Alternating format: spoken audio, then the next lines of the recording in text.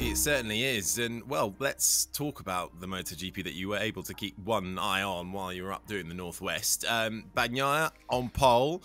Looked like he had the pace for the win, but a crash, a mistake, uh, lost the win, lost a podium for sure as well. Miller Bastianini making their way through. Quartararo, shocking start, but made his way back at the end just couldn't quite get past Aleix Espargaro. He really gave him a fight to the line. Um, but it was it was a bit of an action packed Le Mans with a bit of bit of staleness in the middle, but then it got going towards the end. I was going to say the start of Le Mans was absolutely frantic, wasn't it? It was Mm. wings flying everywhere, everyone nudging everyone everywhere. I think the the significance of Le Mans for me is a they got it away in the dry. I mean, to the detriment maybe of, of Moto three and uh, and the like, but they hit the target they needed to hit. It was dry. It was raising in temperature again, so the tire issue comes into it. But significant was the three time crasher, including in the warm up, Bastianini. He just grew in stature through the entire race. He took it to everyone else he forced Bagnaia into a mistake. Um, it's phenomenal at the moment what Bastianini is achieving on the on the older bike. We talked about it before we came on air. It might be an older bike. It might not be the factory bike. Excuse me just a second. Yes, I have a stinking cold to go with everything else as well. Most will say I deserve for the state I'm in. so, so please, no sympathy. Not that I was going to get any. Um, the, the the fact was that Bastianini, you know, he rose in stature on an older bike, perhaps. But I've always said this: the bloody um, now my phone's going. It's all happening today. It's because we've changed the day. That's why. It's because we're recording on a Tuesday and it's all going off. You, you can't you can't beat a professional broadcaster working with crowds. you must you must excuse me, folks. I'm doing my best, which isn't very very high at the moment. Um, Bastianini on an old bike. Um, it's got all the data. It's got all the you know. They've been there. They've tried everything else. They've been up and down the scale of what should we do here at this racetrack. It's already in the system, already in the software, already in the in the notes. Um, and that makes a difference. Sometimes when you're there on a full factory bike that's been tweaked, you know, it is a full-on prototype that's that might be slightly difficult to to hit the sweet spot with. And I think that's what we see quite often. I mean, Jack uh, Miller really went with a, a, softer front tire, which was seemed to work for him, whereas the others are, were on slightly harder tires. Um, that didn't make a difference in the end. I think uh, Bastianini grew, like I say, in stature right the way through. I mean, three crashes. You would think. I mean, I've always said it. I think we said it when we were talking about the build-up. Le Mans is a crash fest. It is just carnage there. You know, you, each and every one of those corners is, is is is difficult, and you can fall down. And Bagnaia, despite the fact he's not really a crasher, you know, record him on is is one of those corners that double right hander. You can really dig in there normally. It's not a corner that, that you kind of slide off in the middle of it so much. Although, but having said that, it was faster than it's ever been. Le Mans. I mean, like the overall race time was faster than it's ever been. It, it, records were broken left, right, and centre. So they, I think that MotoGP has got to the point where it is so precise, so fast, so accurate. Um, we can't see the mistakes. We can't feel the mistakes anymore like we used to be able to. You used to be able to see riders when they were slightly out of shape. Nowadays, the only time that, that, that we get any inkling that there's something not quite 100% is when they slide off the thing. It's a really strange feeling for me watching MotoGP now. It is, it's a remarkable series. It's, it, you know, they're all within, you know, hundredths of a second of each other, whatever the manufacturer, whatever the, the style of chassis or, or, or motor and it's just a series that you. I'm going to get sworn at for this. It's gone a bit Formula One, you know. In that, in that, it's it's kind of it's down to the bikes are so close. There's nothing they can do about it. You know, overtaking was a real problem at Le Mans. Now it, it never really used to be. Overtaking was, you know, quite easy at Le Mans, but now it seems to be it's a problem. Aero is is making a major difference. Um, so I don't know where we're quite going with this in conversation terms or in the in the series. It's a it's a very tricky thing to get around and get over. Um, maybe we should start talking about the tires. God help. Well, before, before, we do that, Pete, you know, what was your? You had a, a, different view of the race as well. What did you make of it? Quite a costly mistake for Bagnaia in the end, in what is a, a really crucial sort of time amongst the Ducati riders. It, it, was, wasn't it? You know, he just got this win, had, had the bad start to the year. He'd won at, um, you know, Jerez really dominantly and looked looked great, back on form, looking to build momentum. As you, as you said in your introduction, Harry, even if he didn't win the race, he was on course for a pretty pretty safe podium, even if he couldn't catch Bastianini. And then instead, you know, what is he, 46 points from the lead now and and it's it's it's a tricky situation. We're seeing uh, for Ducati. I mean, in a of course they love to see Bastianini on a Ducati up there, but you've got the three guys at the front: Quartararo, uh, Aleix, and uh, Bastianini, and then there's a bit of a gap, isn't there, to uh, to the others. So so the only guy at the moment in the fight is on last year's Ducati. Now, what do you do about that? Do you, do you start developing last year's Ducati, sending Pirro out, the test rider, to maybe try and help Bastianini, or, or do you rely on your factory guys, you know, getting that GP22 ahead in the second half of the season? Keith explained why last year's bike can be, you know, a better option. But I think we're, we're now we've now had seven rounds. You know, we kind of expected the GP22 to sort of cross over and become the clear favourite bike. I guess round now or before now. Instead, we're seeing three wins for Bastianini. No one else has won more than one race. I think it's uh, you know the, the the beast is back again, isn't he? But I think I always I, I, keep juggling back and forth. What's the biggest shocker this year? Is it Bastianini or is it Aleix? You know, and it, and it keeps going. you know, Aleix gets the win, and now he gets the podiums, and then Bastianini again. You know, both of them outstanding so far this year. Go on then. Let's uh, let's do the tire situation then, Keith. Uh, I know we've spoken about it a, a little bit, and, it, and then big news broke. I suppose I say broke in, in inverted commas because I mean, explain it, it, to me, Keith. It, it's what, what's happening. Well, what it was was Matt Oxley managed to get hold of a sheet of paper that's readily available to everybody within the teams. And um, being a journalist, of course, this was this sensational piece that he put out that that you know everybody's cheating. Um, what it is is it a gentleman's agreement, as it is at the moment, between all of the teams that they um, provide sheets to uh, Michelin. Michelin are working with all of the teams because there isn't quite the robust enough system for accurately and securely measuring the tire temperature, tire pressures across all of the manufacturers. Um, the software is not quite there, the, the protocol is not quite there.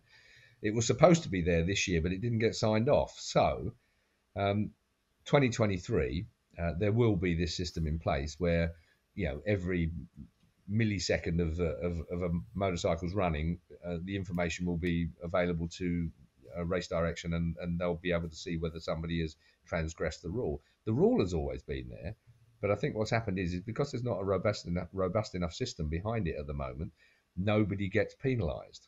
Um, now, I think the bigger question is, is why the bloody hell is that? You know, like we're on a prototype series here. Everybody knows that tire pressures are a critical factor. Um, Michelin give a, a you know a a lower than which you're not supposed to go tire pressure, and yet there are people going below that that minimum tire pressure. So straight away, but so why don't they get a penalty? Because it can be manipulated at the moment. It can still be manipulated up and down. I mean, these the, even the paperwork that Oxley got his hands on could be manipulated. It could be inaccurate. So it's kind of one of these things. It's a, it's a big story and it's a non-story as well. It's one of these things that it seems sensational and everybody's jumped up and down all over it. Um, but the system isn't in place to accurately um, give the data um, without it being able to be manipulated in some way, shape, or form. That's not to say that anybody is manipulating it, but it can be, and that's the you, you, you can't penalise people in a system that that can be cheated if somebody so desires to do so. So the big question is why has it taken so long to get to where we're getting to for 2023? That would be my question. It's ridiculous. It, yeah, when tires and their tire pressures are so critical to performance, um, this should have been in place forever ago. I mean, I ran Danny Aldridge and said, Dan, I thought we were already here. You know, like I'm sure you three, you two did. I, I mean, I, I, thought we were already in a position where that was the case, like in Moto 2, if you like. Um, but it's not. But it will be. But everybody Everybody knew about this. This is not a secret. This is not a secret. In actual fact, from the paperwork that I've already seen, if um, if you took from that paper, there wouldn't be. I think there'd only be one or two um, teams that wouldn't have been penalised this year already for running low tyre pressures. Everyone would have had a penalty at some stage. Um, so it's something and nothing, and I think that you know it's kind of it's a wonderfully sensational story for for taking in slightly out of context. I always feel. in this situation. I think MotoGP's brought this on their themselves a little bit, as Keith exactly. explained. By what, why didn't they make this public? Then at the start of the year, just say this is the situation, and then it would have been clear. I think you know Matt getting that that, that printout that was a great scoop. In fairness, I, I think anyone would have been pleased to get hold of that. But again, if it had been made clear uh, you know, at the start of the year, look, we're developing the system. There was a statement put out by Dorna, wasn't there, after this all broke, that, that explained why, uh, as you've explained then again, Keith, you know, why they're not being punished at the moment. But by keeping it quiet, it, it does give the uh, the impression that there's something going on, isn't there? Even though these sheets are available to all of the teams, as Bagnaia said, 18 riders have been under. Now you might say, why do people go under then? And the problem is that the tire pressure changes, of course, during the race, doesn't it? When, especially if you're behind another rider. Bagnaia was under throughout the race at Jerez, but he was leading all the time. His teammate Jack Miller, he passed the test. I mean, they're on the same bike. Uh, so you've got to believe that probably, I mean, we don't know for sure, but they could well have had the same starting pressures. It's just that that Jack was in the pack, so he was. A, it's half the race, isn't it? You have to meet the, the limit and, for. So he met the limit. That is the uh, problem, and, uh, Pete. You've hit the nail on the head, Pete. It's uh, it's a situation where you know they all start with pressures below um, what is supposedly legal, and they rely on the track temperature and the, the pace that they get. You know, if you're if you're a second off the pace, your tire temperature is going to go down. If you're in the middle of the pack, your tire temperature is going to go right up. What difference does it make? Well, on the front end, you end up with it ballooning, so you end up with a with a with a lesser contact patch at the front end because the, the you know it's it's kind of the temp- the the pressure has gone up to such an extent where the tire doesn't flex, doesn't squidge into the into the tarmac like it should do. It's tiny, but it's critical at this level. When we are when we're looking at three decimal points for a you know qualifying situation, sometimes that, that makes the difference. When you've got a second that covers 24 bikes, sometimes you know it's crazy close at the moment. So you know cheating is what it could be said it is, but I like to think it's more. Uh, excuse me a minute. I cannot believe that I'm actually sitting here. Got, I do I do apologise to folks that are listening to this. I've got a stinking cold and I've got a throat like it feels like a raft. I was going to say, apologise to people watching, watching this. YouTube it, will, um, it's the people watching it, that can anyway. see you. The listeners won't know that you're wiping your nose. Uh... No, no. It's, um, it's, it's, yeah, but I do apologise. But um, you know, tyre pressures. I don't quite know where they're going to go with this. Um, you know, because they give an option if they say that you, I think you, you need to be able to say that you're starting at the minimum point. I don't think there should be any leeway in that. I think if it's 1.9 bar or whatever it is, it's 1.9 bar. And if you've not started at that point, then you're illegal and you get penalised. I think if you allow them to be under at the start of a race, um, then in that case you, you leave you leave it almost for the point if the rider isn't performing or if he or if there's a cloud comes over the track, or if something changes, or if he's in fresh air, um, he's going to be under for longer than the fifty percent. Um, so it is. It's a, it's it's almost you know you got you got to have a crystal ball for tires, haven't you? You got to be able to work out where it's going to go, where it's likely to go. But if you if you make it that the minimum uh, tire tire pressure is this at the start of a race, so when you go to the grid, you know if you're under, you get penalised.